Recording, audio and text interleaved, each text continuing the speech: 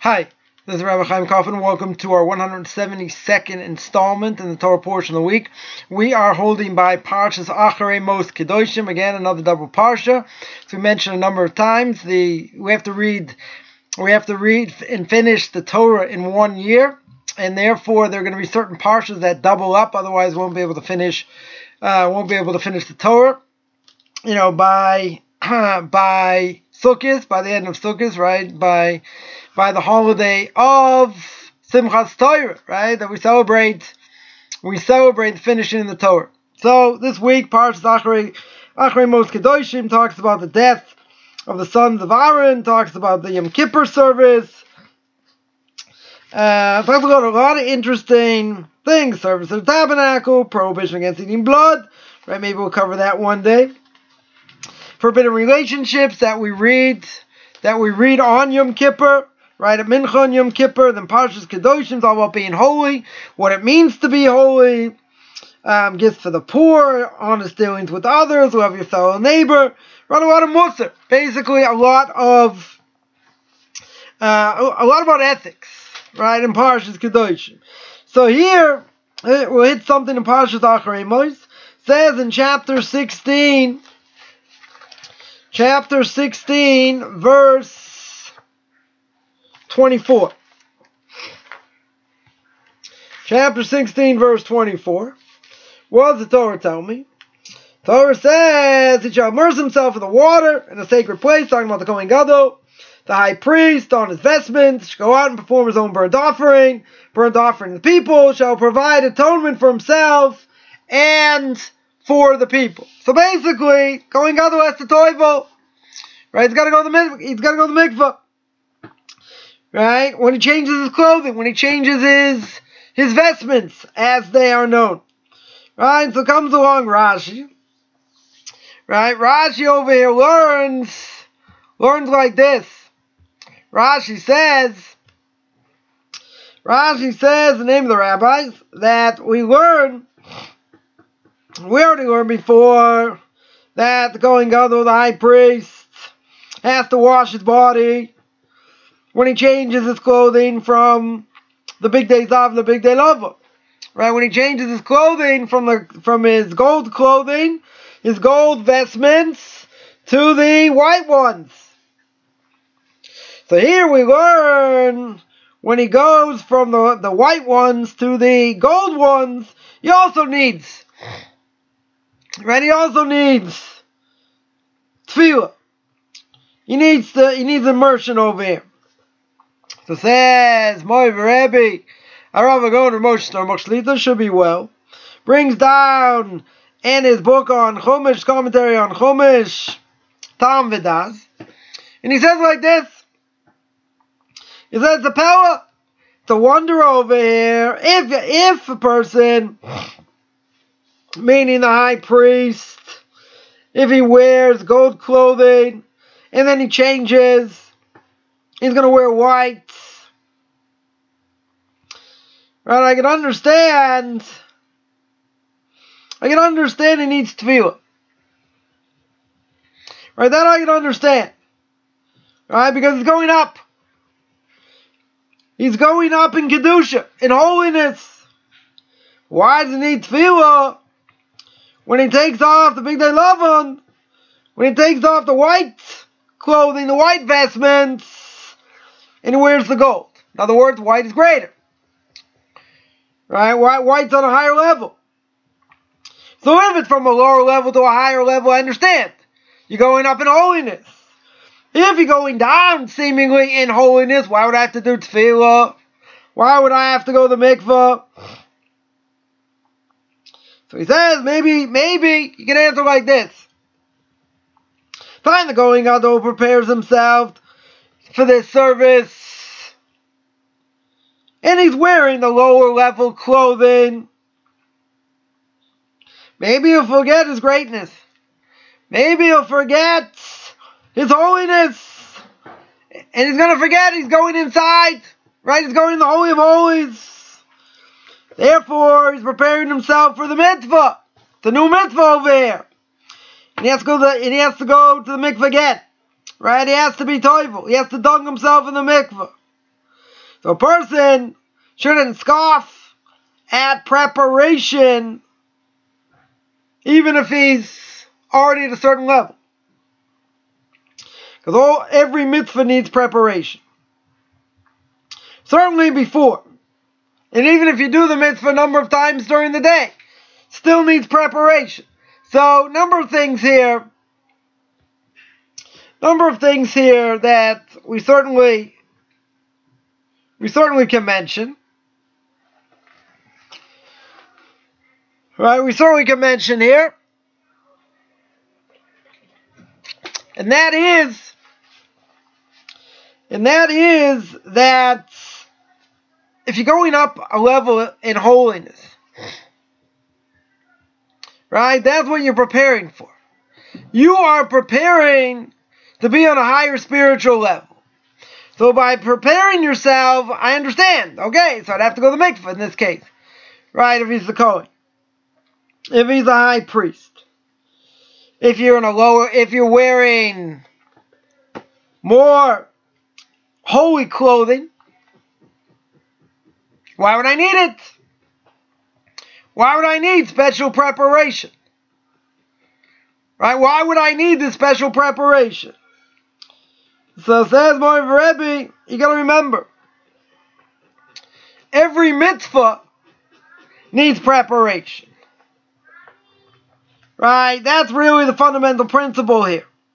But the Kohen himself even if he's not wearing, meaning the, the high priest here, right? First thing is, you gotta remember, he's on a very high spiritual level.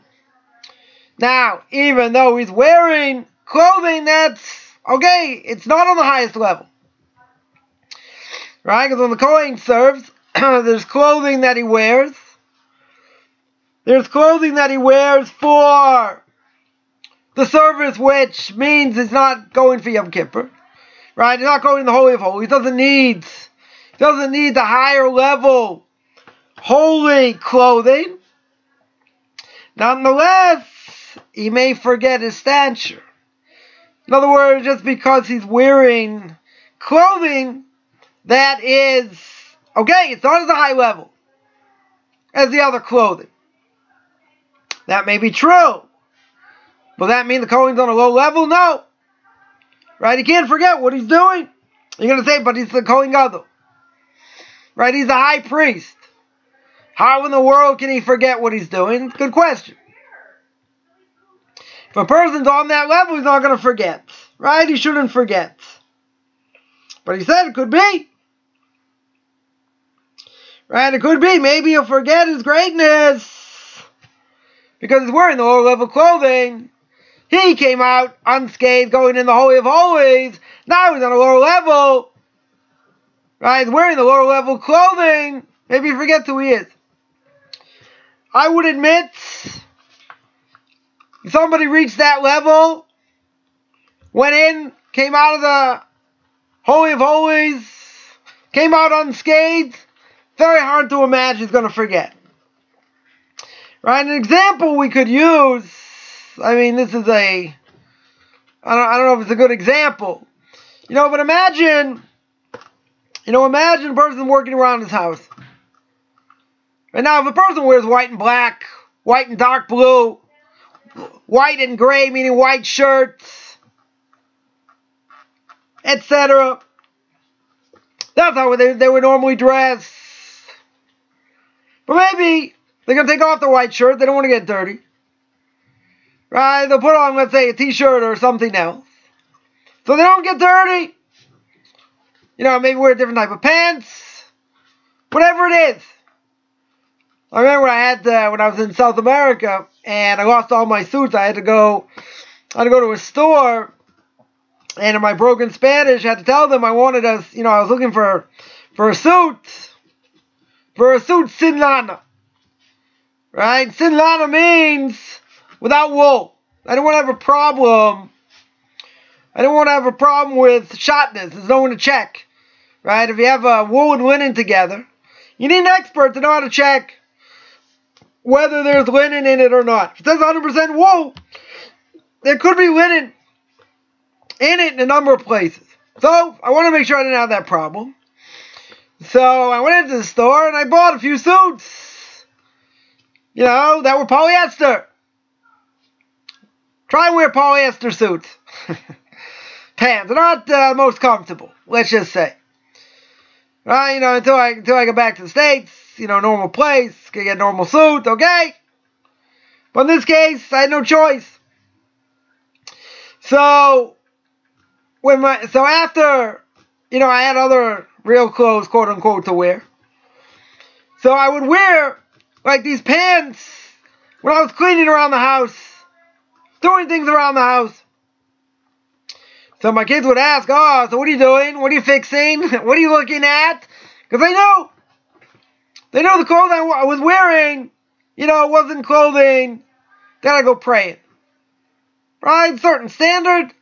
You know, people want to hold by and how they're going to dress. We spoke about dress before. Right? But the idea is, although why do I say not maybe not a good example? Because even if you're wearing those clothes, you're working around the house, you can't forget you're still a yid, if you're a yid. Right? You can't forget you're a Jew. Got obligations. Got to keep your mind straight. Got to remember, you can't speak Lashon. You can't do other things. So you might forget, okay, I'm not dressed that way. Now, if you ask most people, you know, and they would ask about dress, again, not necessarily the topic for now. I've spoken about it a number of times. But, you know, if someone were to ask you, you know, why do you dress that way? You know, again, white shirt, black pants with or without stripes, right, pinstripes, you know, dark gray, with or without pinstripes, dark blue, with or without pinstripes, like, that's it. Right? That's what most people, the ultra Orthodox community will wear.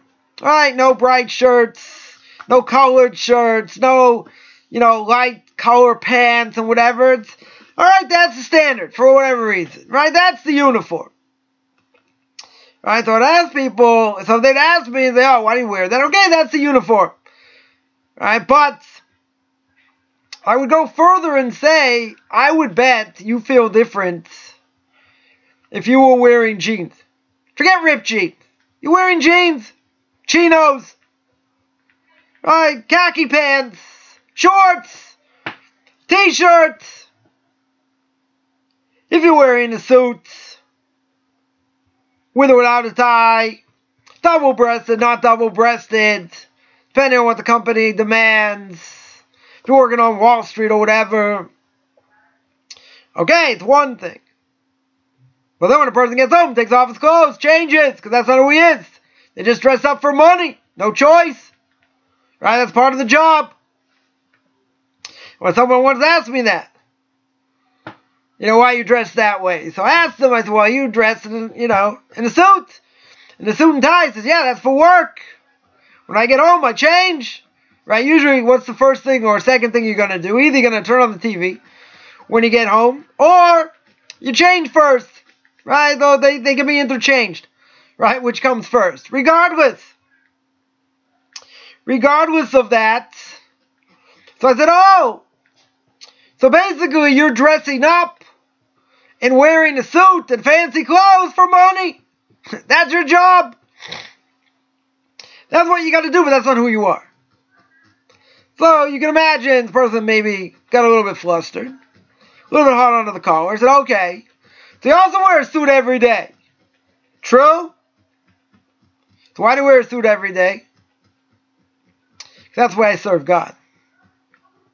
That's the uniform God wants me to serve Him in. Because there's a heck of a difference, and you ask anybody.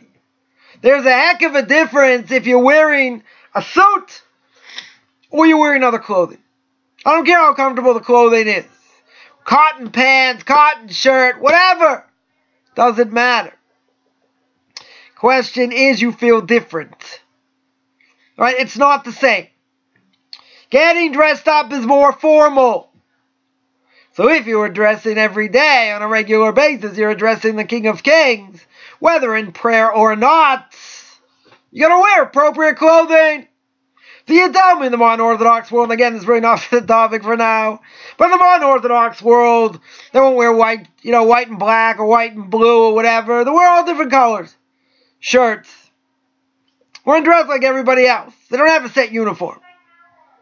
I mean, there is modesty for them also, but, you know, they're, not going to wear a set uniform like in the ultra Orthodox community. Okay? But again, there's a difference. Person feels the difference what they wear. So, over here by the high priest, right, he's wearing heavy duty vestments, goes into the Holy of Holies, comes out unscathed. Totally comes out unscathed. Now, he's going to take off those clothes and wear the other clothing. May forget who he is. Maybe forget his status. Very well could be. Because he's not wearing the super duper holy clothes. Right? That's, that's one thing. You know, he might forget his stature. Now again, the obvious question is, it just came out of the Holy of Holies. Came out of the Holy of Holies and survived. Because if a Kohen wasn't on the level, he wouldn't have survived. And there were many Kohanim at the time of the Second Temple, many high priests that bought the position or weren't worthy of it and took it or whatever. They died. Right? They were the high priests for a certain amount of time. Comes Yom Kippur, they went in, got away at the Roach Motel. They, they checked in, didn't check out. That's it, they died. It'll be pulled out. I don't know what the great experience is. You know, you know you're going to die. How in the world do you think you're going to survive? Could be gaiva, right? Being conceited. Could be any number of things. But I wouldn't think you're going to survive. I mean, if you, you know, there's a very good chance you're not going to survive. You know, why would you want the position? Say fame, but you're going to die. Fame's not going to be worth very much. You're the high priest for a certain amount of time. Comes Yom Kippur, over. So, how long are you the high priest for? Six months? A year? No more than that, you're going to die. So, could be, again, the way we explained, could be that the high priest maybe will feel on the lower level. You won't feel the level he's at. He's not wearing those vestments. Maybe. Right? That's one thing. Maybe says something else also. He says, comes on the high priest. And what's he doing? He's now doing a separate mitzvah. He's not going inside the Holy of Holies. He's got other things to do in the Beis Hamikdash in the temple. If he's got other things to do, what are we worried about? It's another mitzvah. He's got to prepare himself for that mitzvah.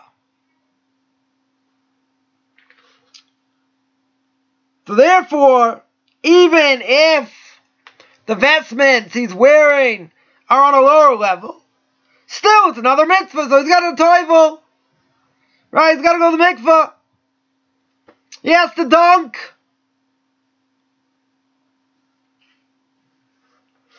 Because it's a totally separate mitzvah.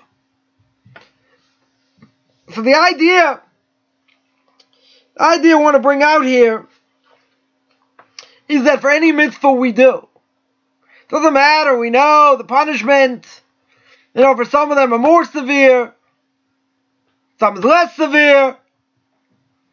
We don't know the merit for all the mitzvahs that we do. So you gotta do them all anyway, because if we knew what merit we would get for doing certain mitzvahs is much greater than other mitzvahs, you wouldn't do other mitzvahs. You'd focus on the big ones. That being the case, every mitzvah is important. If every mitzvah is important, it takes preparation. Now, I can understand by prayer.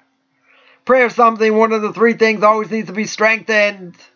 So that you can't run into prayer, right? That we mentioned a number of times. Prayer, you got to be prepared. You got to be ready. You got to get to, you got you got to get there early. You got to get, you know, you got to take your mind Take everything out of your mind.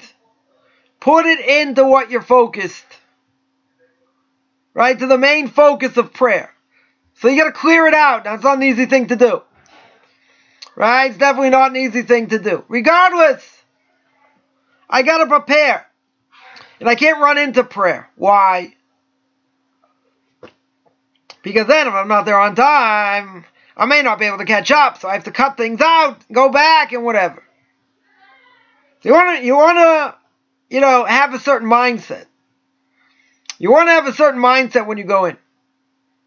Because if you don't, if you don't, then you're not going to be prepared. The holidays, right? Passover, we just fat, we just finished. You got Passover, Shavuos, Sukkot, Rosh Hashanah, Yom Kippur.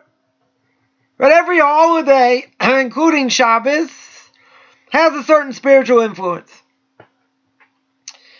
Now, through that spiritual influence, I have to prepare to accept it, to receive it, really. Because if I don't work at it, I go through the motions. Okay, I ate the matzah, went through the Haggadah. I didn't really get that much out of it. It's not something you can do tshuva on, per se. Why? Because once it goes, it goes. You can say, okay, let me get it back. How can you get it back? It's over. Once that time period is over, once Passover is over, once Shavuos is over, once Sukkot, Rosh Hashanah, Yom Kippur, once the holiday is over, I can't tap back in. There's no way to get back in because it's over. You know, after the fact, yeah, person can do tshuva, person can repent, but that spiritual influence, gonzo. That spiritual influence I never get back. It's an impossibility. So I got to prepare. So Rebbe here points out every mitzvah, not just prayer. I just I just gave prayer as an example. Every mitzvah, every holiday needs preparation. Doesn't matter how well you think you know it, how well you know the halacha, you got to go through it again. Right? You got to review. But you got to understand what's behind it. You have to understand what the fundamental message is. You have to delve into it. If you don't delve into it, that mean you won't get anything out of it? No. You get something out of it. But getting something out of it does not mean I'll get what I need.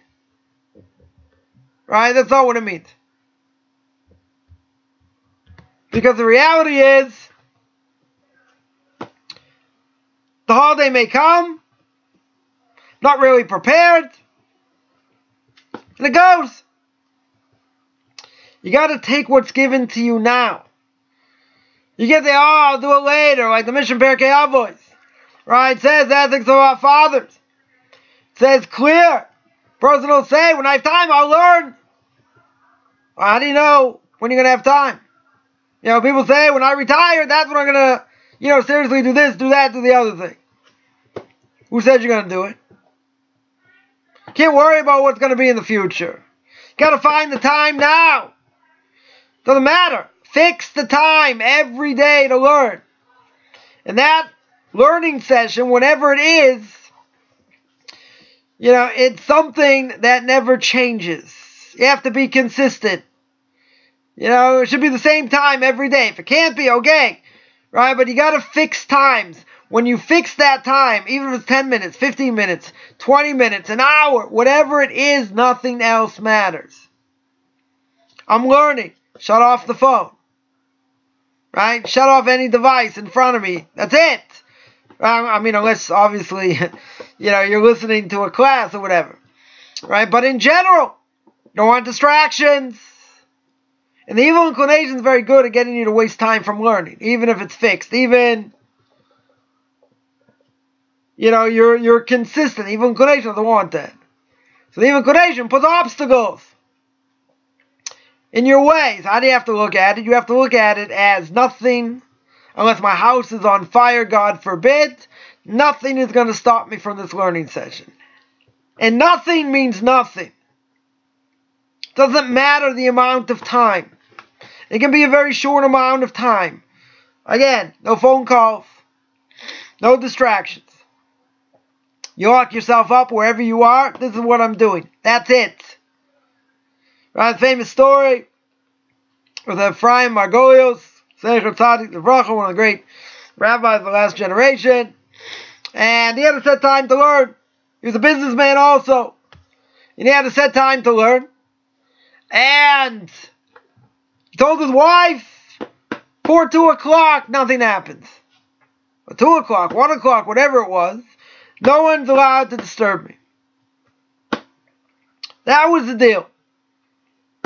And then he'd go to work and whatever. So one day, someone comes in, a few merchants come in, want to see, you know, want, want to see uh, Rabbi Margolios.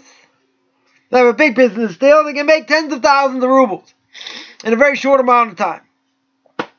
His wife said, can't disturb him. Right? Not available till 2 o'clock. They said, but don't you, you know, and they kept talking and talking. Said, no, that's the deal. He's busy learning, can't be disturbed. You know, and they, and they kept coming and coming. You know, they said, don't you think for a few minutes, a few minutes is going to make so much money? What's he worried about? It's a done deal. His wife was adamant. Said no. And they went away. So after he was learning, his wife told him the story.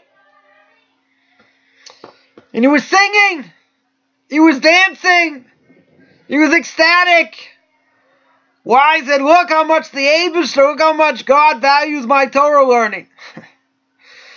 he thinks my Torah learning is worth tens of thousands of rubles. That has to be our attitude. You know, any mitzvah person does, you gotta be prepared. It's got to be the single most important thing you're doing right now. Can't give a lip service. Can't do it by rote. You got an obligation to prepare. And again, preparation doesn't mean an hour. It mean two hours. You got to prepare a certain amount of time. You know, but again, any holiday comes, there are a lot of things to learn. For that, you got to prepare ahead of time. You learn stuff on the holiday as well. But it's totally different when you go in to the holiday prepared. And again, different levels of preparation. Right? But you go in more prepared than not. When you get to the holiday, it's a whole different thing. It's a whole different understanding. It's a lot clearer what's going on, what my purpose is, why I'm doing it. And it's not just I run into the holiday. Right? In my language, that doesn't butter the biscuit. Because you're not going to get anything out of it. Doesn't matter. You went through it this year, went through it last year, went through it the year before. It's got to be fresh. It's got to be fresh in our minds. Right? God renews creation every day. Just like every day is a day I didn't succeed this day, I always have tomorrow. I don't see tomorrow, I got the next day. Right? We're not always gonna raise ourselves to the levels we want. Doesn't mean you don't have to try. Right? This world's all about preparation. Right? It's all about preparation for the next world. That's even bigger. preparation a person needs. Right? Because Talmud tells us, Talmud tells us, person, if you don't prepare in this world, right, the language is you don't prepare if Shabbos, you don't eat on Shabbos. What it means is you don't prepare in this world, what do you expect to have in the next world? Our entire being, our entire lives are about preparation sometimes more, sometimes less, right? Whatever it is, but we have to change the way we think. We have to change what we do, right? During this time, right? During this time, we're stuck at home. It's a time for introspection. It's a time to want to be better. Not doing things by rote. It's a time for us to raise ourselves to the level that we need to be. You know, because at the end of the day, everything's shut down. Okay, they're starting to open things slowly. But the question is, do we get the message? God wants us to prepare ourselves. He wants, he wants us to strengthen ourselves in prayer, in learning, making blessings, keeping Shabbos, keeping the holidays, working on character traits, not speaking Lashon Hara. Yeah, there's a lot to do. There's a lot to focus on. Question is, are we just passing the time? Or quote unquote killing time? Or are we working hard to reach potential? Preparation over here is for every single thing we do. Every mitzvah that we do. Every holiday we go through. Because if you don't prepare and you do it, what's it worth? What is it worth? Did I get the mitzvah? Yes. Is it the way God wants me to do the mitzvah? No. He'll give me credit. It's not what he wants. We're in this world to strive. We're in this world to struggle. We're in this world to fight the evil inclination.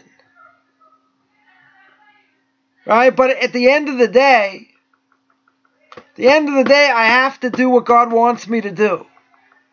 So how, can I be on a on a spiritual level, any spiritual level, if I'm just doing the mitzvahs, I don't think about what I do. And I just do it by rote. That's, as the Baalei Musar say, that's akin to spiritual death. We're not interested in going through the motions. We want to go beyond. We want to have that close connection. We want to be all that we can be. Can't be lazy. Not only that, if you don't prepare, you do things wrong. Lots of blessings, complicated. Lots of Shabbos, complicated. Got to constantly review.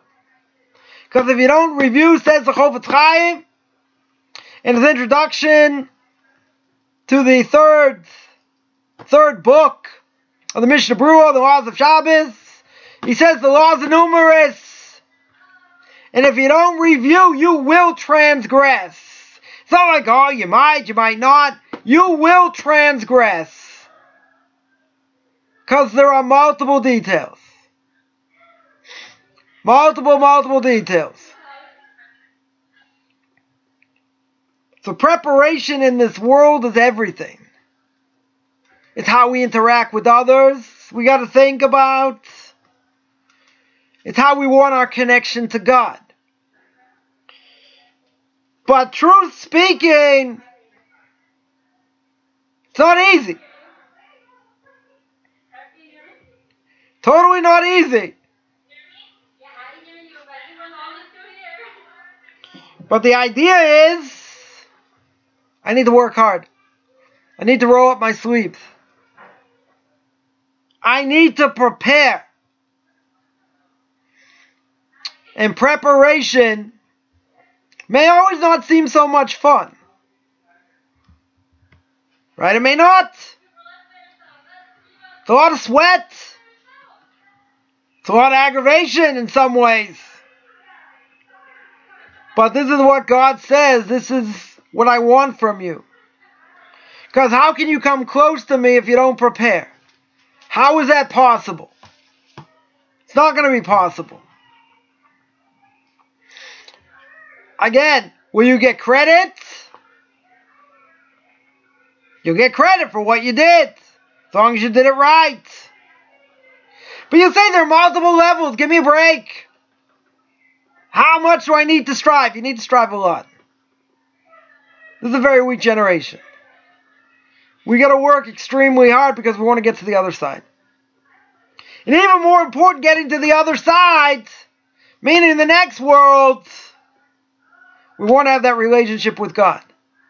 We don't want to be like Cain, you know, brought a sacrifice and he brought dandelions. Right? We don't want to be rejected. I mean, could it be a person doing mitzvahs and be rejected? Depends how he does the mitzvahs. There's a lot to work on. You know, and that's okay. But I have to start somewhere. Because if I don't prepare and I'm not ready, then the holiday just goes by. The mitzvah, okay, I did it, but you know, I got a C minus, D plus. You say, see, you know, I got somewhat of a passing grade. Still gonna get credit, minimal credit. We're not interested in minimal credits. You know, we want it all. Right? And that that's what we should be doing, what we should be striving for to reach our potential and to be the best that we can be. I want to remind everyone every Tuesday night I have a class on duties of the heart. Uh, every Tuesday night, 9 o'clock New York time. Um, I have uh, two Q&As every Tuesday and Thursday, 10 o'clock in the morning New York time, usually on Facebook. Also, Book of Leviticus, chapter 12, or let's say better, chapter 13. Every Sunday, 9, uh, 9 o'clock 9 o'clock in the morning, New York time. Uh, controversial issues every Monday, Tanakh Talk. Every Monday, 1 o'clock Eastern time. Uh, sorry, 2 o'clock Eastern time, 1 o'clock Central time. Pirkei Avos, Ethics of the Fathers, every Saturday, every Saturday um, at 2.30. 2.30 uh, Eastern time. If anyone wants to contact me, they can Find me on Facebook, Beyond Orthodox Conversion Judaism. You want to send me an email, Rabbi Chaim Coffman at gmail.com. R-E-B-B-I-C-H-A-I-M C-O-F-F-M-A-N at gmail.com. Wishing everyone a great Shabbos.